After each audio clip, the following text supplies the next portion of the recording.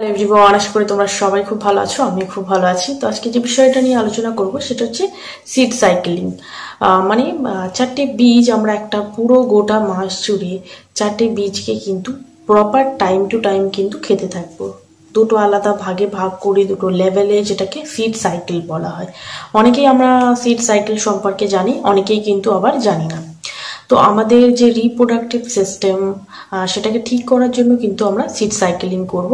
যখনই দেখবে আমরা প্রেগনেন্সির জন্য চেষ্টা করছি, আমাদের সিস্ট রয়েছে থাইরয়েড রয়েছে, কারোর প্রোল্যাকটিন হাই রয়েছে, কারোর দেখবে আবার পলিপ রয়েছে, কারোর এন্ডোমেট্রিওসিস রয়েছে, নানান রকমের সমস্যা রয়েছে।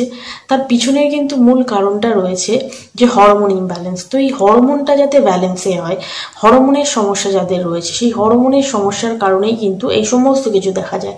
আমাদের বডিতে যে সমস্ত চেঞ্জেস দেখা যায় যেমন সিস্ট হয়ে যায় থাইরয়েড বেশি হয়ে যায় ফ্ল্যাকটিন হয়ে যায়, প্রত্যেকটা জিনিস কিন্তু হরমোনের সঙ্গে কানেক্টেড তো এই হরমোনের যে ভারসাম্যহীনতাটা রয়েছে, সেটাকে আমরা ঠিক করতে হরমোনজনিত যে কোনো সমস্যা, সেটাকে যাতে আমরা লেভেলে আনতে পারি, কারণ আমাদের শরীরে কিন্তু প্রত্যেকটা হরমোন একটা নির্দিষ্ট লেভেলে থাকে, সেটাই যখনই উপর নিচে হয়ে যায়, তখনই কিন্তু আমাদের শরীরে এই ধরনের সমস্যাগুলো দেখা যায়। তো এই যে হরমোনের যে ভারসাম্যহীনতা বা হরমোনের যে সমস্যা রয়েছে, সেটাকে ঠিক করার জন্য আমরা কিন্তু সিট সাইকেলটা করব।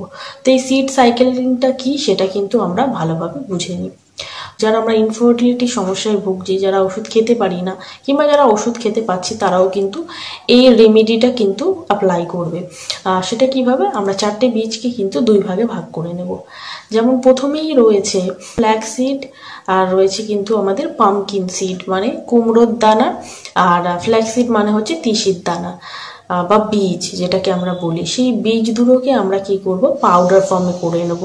দুই ধরনের বীজ আমরা আলাদা আলাদাভাবে কন্টেনারে ভরে ভাবে গুঁড়ো করে নেব। গুঁড়ো এমনি পাওয়া যায়, যদি গুঁড়ো নাও পাও, সেটা আমরা মিক্সিতে ভালো করে গুঁড়ো করে দুটো আলাদা আলাদা কন্টেনারের মধ্যে রেখে দেবো। একটা হচ্ছে ফ্ল্যাক্স সিড একটা হচ্ছে পামকিন সিড তো এই ফ্ল্যাক্স সিড আর পামকিন সিড কি করবে? আমাদের বডিতে কিন্তু ইস্ট্রোজেনের লেভেলটা বাড়াবে। আমাদের যখনই পিরিয়ডটা স্টার্ট হয়, তখনই কিন্তু আমাদের ওভুলেশনের প্রোডাকশনটা শুরু হয়। সেই সময় ওভুলেশনের কাজটা শুরু হয়। তো ওভুলেশনটা যাতে ঠিকভাবে হয়, তার জন্য দরকার কিন্তু আমাদের বডিতে ইস্ট্রোজেনের তো এই ইস্ট্রোজেনটা প্রডিউস করে, বেশিরভাগ দেখবে যখন আমরা ডক্টরের কাছে যাই, আমাদের ইস্ট্রোজেনেরও ট্যাবলেটটা দেওয়া হয়। যাতে তার কোনো ভারসাম্যহীনতা যদি থেকে থাকে, সেটা যদি লেভেল কম থাকে সেটাকে যাতে ঠিক করা যায়। তো সেক্ষেত্রে কিন্তু আমরা সিড সাইকেলে কিন্তু পামকিন সিড আর ফ্ল্যাক্স সিডটা গুঁড়ো করা পামকিন সিড এবং ফ্ল্যাক্স ব্যবহার করব যাতে আমাদের বডিতে কিন্তু ইস্ট্রোজেনটা উৎপন্ন হয় এবং ইস্ট্রোজেনের প্রভাবে যাতে ডিমটা কিন্তু রিলিজ হয়ে যায় বা আমাদের ওভুলেশনটা যাতে হয়ে যায়। তার জন্য কিন্তু আমরা আমাদের পিরিয়ডের শুরু থেকে পনেরো দিন পর্যন্ত আমরা ফ্ল্যাক্স সিড আর পামকিন সিডের যে গুঁড়ো রয়েছে, সেটা এক চামচ এক চামচ করে যে কোনো খাবার সাথে অ্যাড করতে পারি, যখন ইচ্ছা তখন অ্যাড করতে পারি। দুধের সাথে গুলে খেতে পারি, শরবতের সাথে গুলে খেতে পারি, এক গ্লাস জলের সঙ্গে গুলে খেতে পারি কিংবা যেটা খুব সুবিধা হয় সেটা হচ্ছে রুটি। রুটি করার সময় কিন্তু ওই এক চামচ এক চামচ করে দিয়ে সেই রুটিটা করেও কিন্তু আমরা খেতে পারি। ব্রেকফাস্টে এরকমভাবে খেয়ে নিতে পারি কিংবা আমরা রাত্রিবেলা শোয়ার সময় দুধে গুলে খেয়ে নিতে পারি। দুটো একসাথে কিন্তু গুলে নেব না। দুটো পাউডার কিন্তু আলাদা আলাদা কন্টেনারে রাখব। এক চামচ পামকিন সিডের গুঁড়ো নেব, এক চামচ আমরা ফ্ল্যাক্স সিডের গুঁড়ো নেব। নিয়ে সেটা আমরা জলের সঙ্গে, দুধের সঙ্গে সকালবেলা ব্রেকফাস্টে রাত্রিবেলা ডিনারে যখন খুশি স্যালাডের মধ্যে অ্যাড করে কিংবা কোনো স্মুদি বানাচ্ছি, তার মধ্যে অ্যাড করে কিন্তু আমরা খেয়ে নেব। যখন আমাদের পিরিয়ডটা স্টার্ট হবে, সেই দিন থেকে শুরু করে আর পনেরো দিন পর্যন্ত কিন্তু আমরা এই দুটো বীজ কিন্তু খাব। হয়ে গেল একটা পার্ট শেষ। আমাদের নেক্সট পনেরো দিন হচ্ছে আমাদের ইমপ্লান্টেশনের সময়। যে সময় আমাদের ওভুলেশনটা হবে এবং একটা ফার্টিলাইজ হবে, সেই একটা যাতে ফার্টিলাইজ হয়ে ভালোভাবে ইমপ্লান্ট হয়, তার জন্য কিন্তু দরকার বডিতে প্রজেস্টেরনের তো নেক্সট এই দুটো পার্টে আমরা সানফ্লাওয়ার সিড আর সেসেমে সিড মানে তিলের বীজ এবং সানফ্লাওয়ার বীজ, এই দুটো কিন্তু আমরা ব্যবহার করব। নেক্সট পনেরো দিনের পার্টে এই দুটো বীজ আমরা ব্যবহার করব যাতে আমাদের বডিতে কিন্তু প্রোজেস্টেরনের মাত্রাটা সঠিক থাকে। তো এই কারণে আমরা কিন্তু এই দুটো বীজ ব্যবহার করব। কীভাবে করব? এই দুটো বীজও আমরা পাউডার ফর্মে করে নেব। দুটো আলাদা আলাদা কন্টেনারে রেখে দেব। শুধু কোয়ান্টিটিটা একটু বাড়িয়ে দেব। এবং আমরা কি করব? আমরা যখনই কোনো যে কোনো টাইমে ব্রেকফাস্টের টাইমে ডিনারের টাইমে যখনই হোক, আমাদের খালি পেটের সঙ্গে কোনো সম্পর্ক নেই। যে কোনো সময় আমরা যে কোনো রুটি, খাবার, দুধ, যার সঙ্গে ইচ্ছা মিশিয়ে আমরা কিন্তু খেয়ে নেব। সেটা আমরা পনেরো দিন কন্টিনিউ করব। পনেরো দিন আমরা ফ্ল্যাক্স সিড আর পামকিন সিড খাব। পনেরো দিন আমরা সানফ্লাওয়ার সিড আর সেসেমে সিড খাব। তো এই দুটো খাব আমরা।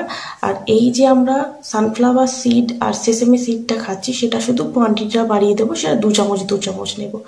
যেখানে ফ্ল্যাক্স সিড আর পামকিন সিডটা আমরা এক চামচ এক চামচ নিচ্ছি, সেখানে সেসেমে সিড আর আমাদের সানফ্লাওয়ার সিডটা আমরা কিন্তু দুই চামচ দুই চামচ করে নেব।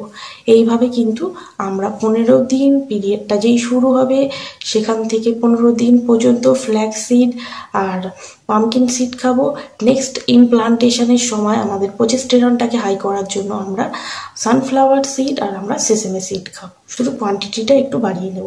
এটা যদি আমরা একটা গোটা মাস করি, তখন কি হয়? আমাদের হরমোনগুলো ব্যালেন্সে থাকে। হরমোন যখনই ডিসব্যালেন্স হবে না, তখন কিন্তু গর্ভধারণ অতি সহজ। তো সেক্ষেত্রে কিন্তু আমরা সিড সাইকেলটা করব, যারা আমরা গর্ভধারণ করতে চাইছি। নানান রকমের রেমেডি অ্যাপ্লাই করেছি, নিশ্চয়ই আমরা সিড সাইকেলিংও অ্যাপ্লাই করব, যেটা খুবই হেল্পফুল যাতে কিন্তু আমাদের বডিতে প্রোজেস্টেরন এবং ইস্ট্রোজেনের মাত্রাটা ঠিক থাকে এবং আমরা গর্ভধারণ করতে পারি। তো যখন আমরা বুঝে গেছি যে এই দুটোর কাজ কি, এ দুটো কি করবে বডিতে ইস্ট্রোজেন যখনই হাই হবে ওভুলেশনটা হবে প্রোজেস্টেরন যখন হাই হবে, তখন সেটা ইমপ্লান্ট হয়ে যে ভ্রূণের খাদ্য যোগাবে সেটা কিন্তু প্রোজেস্টেরনই করবে। তো সেই কাজগুলো তো এরা করে দিচ্ছে, সেই হরমোনগুলোকে ব্যালেন্সে রাখছে এরা। তো সেক্ষেত্রে কিন্তু এতগুলো দিক তাকিয়ে আমরা কিন্তু সিড সাইকেলিংটা অ্যাপ্লাই করব। এর সঙ্গে সঙ্গে আমরা কি করতে পারি? আমরা রেগুলার ইয়োগা করব, আমাদের খাবারে আমরা জাঙ্ক ফুড জাতীয় জিনিস খাব না, আমরা খুব হেলদি খাবার খাব, এগুলো আমরা করতে পারি। তাতে কিন্তু আমাদের গর্ভধারণটা অতি সহজেই হয়ে যাবে। আর সিডের অনেক রকমের কালার আছে। যে কোনো কালার তোমরা ব্যবহার করতে পারো, তাতে কোনো সমস্যা নেই। অনেকে বলবে যে, দিদি পিরিয়ডটা হয়ে যাওয়ার কয়েকদিন পর যদি ব্যবহার করি পিরিয়ডটা হয়ে যাওয়ার কয়েকদিন পর ব্যবহার করলে কাজ হবে কি জানি না? তবে আমাদের পিরিয়ডের শুরু থেকে পনেরো দিন পর্যন্ত করব, তারপরে নেক্সট পনেরো দিন পর্যন্ত কিন্তু আবার নেক্সট যেটা রয়েছে, যেমন সানফ্লাওয়ার সিড এবং সেসেমে সিড সেটা কিন্তু অ্যাপ্লাই করব।